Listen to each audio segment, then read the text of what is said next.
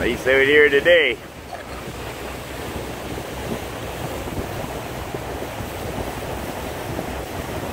We gotta go straight ahead up through this big water here. This here is on the way back from Britt to uh, the Key River.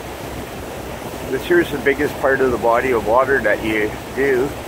Uh, that this boat and bigger boats, but this is the inside channel this is. But this here chunk of uh, water here, you won't go across there if you're rolling. Not my boat anyway.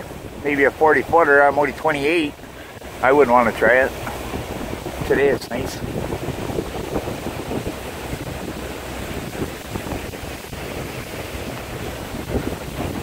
Hi, Ram.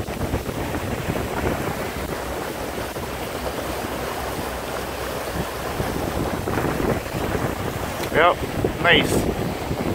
Wave at that, real.